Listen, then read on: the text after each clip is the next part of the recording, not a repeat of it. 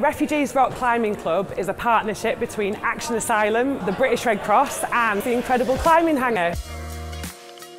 The club gives asylum seekers, refugees and local people the opportunity to climb side by side on the wall, providing really amazing wellbeing activities. I come from Iran and I was climber, mount climber there. This is the first time I'm climbing in the UK. I met a lot of climber here, uh, showing some ways of climbing. Was very, very good for me.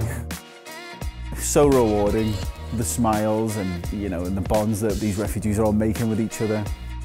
It's so important for people to feel safe and welcome and integrated.